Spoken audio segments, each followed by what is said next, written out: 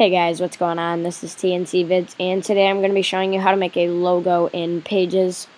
Um, a lot of people wouldn't think you can make a logo in Pages, but it turns out you can, and today I'm going to be showing you how. Um, this isn't super professional, but it actually turns out to look pretty nice. Um, it's not anywhere near something like uh, Cinema 4D or, um, you know, Photoshop. But if you don't want to spend all that money or take up all that space downloading, this is the way to go because it actually turns out looking very nice. So what you're going to want to do is open Pages and go into a blank landscape. I'm just going to double tap to open. So once we have that open, we're going to go down to our shapes, and you can choose any shape you want, but I'm going to go with a rounded rectangle. And then if you hold down shift and you make this bigger, you can make it any size you want, it doesn't matter, but I would probably say the bigger the better, because then you can see um, everything you're doing. Um, and then we'll just put it, doesn't really matter where you put it on the screen anyway, because what we're going to be doing is taking a screenshot of this, and it turns out really nice. So you'll see at the end, but just follow along. Um, so once you have that, we're going to go into our inspector, and you can choose a color fill, but if you want a kind of cooler look, in my opinion, I'm going to go to an advanced gradient fill, um, and you can either do this one where it's a uh, a linear um, gradient fill, then you can do that one. But I like this circular gradient fill. Um, and then you can move this around where you want it and choose the colors and everything. Um, so for my first color, I think I'm going to be doing a, I think I'll do a cyan kind of blue and then for the circular, I think I'll be doing a yellow, no, a lime green. Yeah, that looks really nice. Um, and you can play around with this, uh, adjust the size. Um, but for now, I'm going to put that up kind of in the top right corner. That looks really cool. And you can play around with the size right here. That looks pretty cool, okay? So, once you have it how you want it, I'll put it right there. Um, once you have it how you want it, you can choose a stroke. I like to use this one. And then I make it to about a 13 point. Okay, that looks pretty good. Visible, but not too big. Um, and then I'm going to add a shadow and you can adjust the size. I'll put it about there. That looks nice. And then you can adjust the angle right here. And we'll put it right there to make it look like the uh, the light's coming in kind of this way. Um, you can adjust the uh, opacity and the blur and everything. I'm not going to mess around with that. Then you can also add a reflection, but I wouldn't suggest that doing a logo. It just doesn't turn out very well. Uh, so once you have it how you want it, just kind of skimming through here.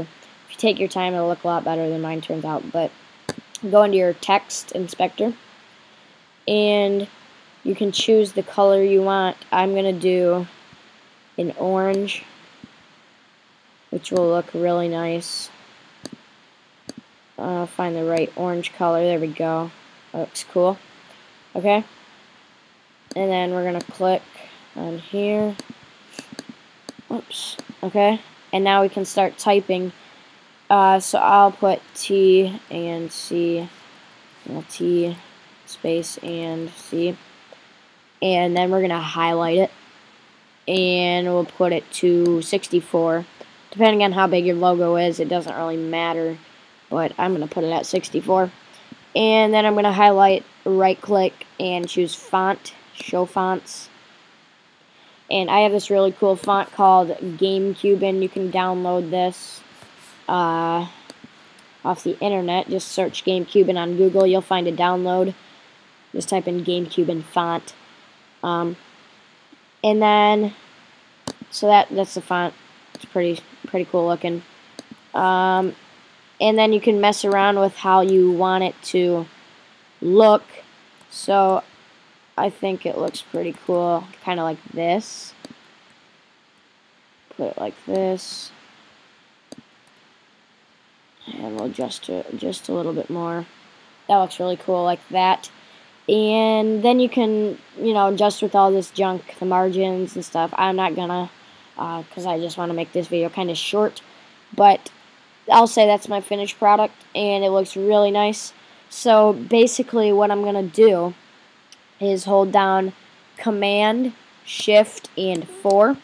And you'll get this little cursor that comes up, and you're to highlight it like this.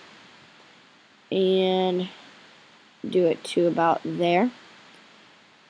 And put it to how you want it, and then go like this. Just let go. It took a screenshot of that logo. So now I'll just minimize this and we'll go into here. And there's our logo. You just took a picture of it. And basically uh, what you can do is go into YouTube, go to your account, go to settings. And I made this one um, a couple minutes ago, but I'm not going to change it. Um, I'll just leave it. Uh, but then you just click change. One second, something's loading, I don't know what. Alright, then you can click change. Click change picture. Choose file. And just choose that screenshot. Um, I'm not going to change it right now. But that's how you make a logo in Pages. I hope you guys like this video. And if you if it helped you out, please remember to comment, rate, and subscribe for more videos in the future. Thanks for watching. Hey guys, before the video ends, I just want to give a big shout out to uh, JKB for me. Um, he's just getting started on YouTube, and he's got some great videos. He's doing app reviews for the uh, iPod and everything. So um, just go to his channel, uh, subscribe to him, and I'll be putting the link to his channel in the description. So again, thanks for watching, and please comment, rate, and subscribe to me, TandCVidz, and JKB for me.